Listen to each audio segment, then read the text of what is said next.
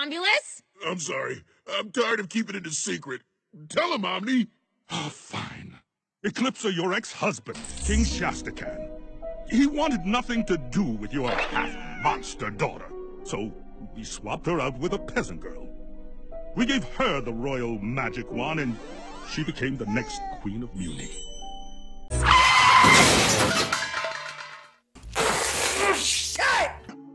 Us live a lie. We shouldn't even have the throne.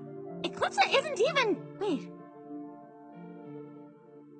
You aren't actually my great, great, great, great something grandma.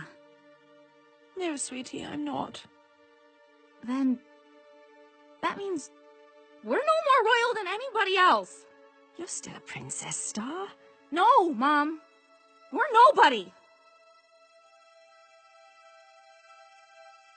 Wait!